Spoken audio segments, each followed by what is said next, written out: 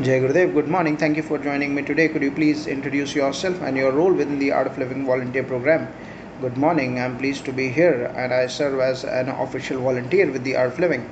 That's wonderful. Can you could you explain why the volunteer program is structured the way it is? The volunteer program is structured to maintain a database of our volunteers and their contributions. It helps us track our volunteers, total volunteers, and their involvement across various programs. Additionally, it ensures that records are maintained for those interested in further training or sessions. How often are the programs updated?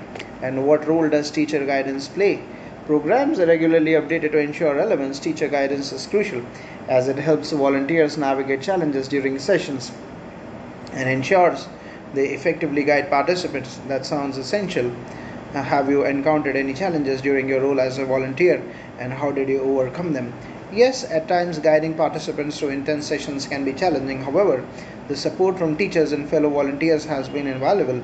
They provide assistance to move forward and enhance the overall experience.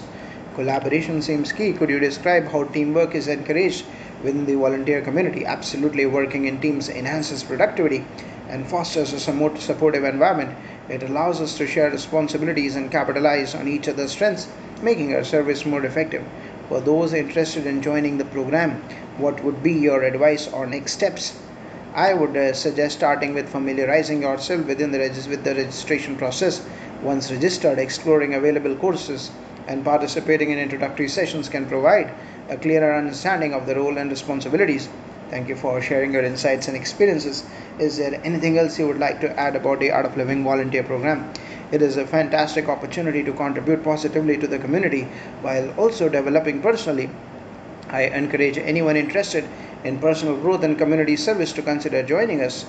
This, uh, that concludes our interview. Thank you for once again for your time and valuable information. You're welcome. It was my pleasure. Thank you for having me. Jai Gurudev.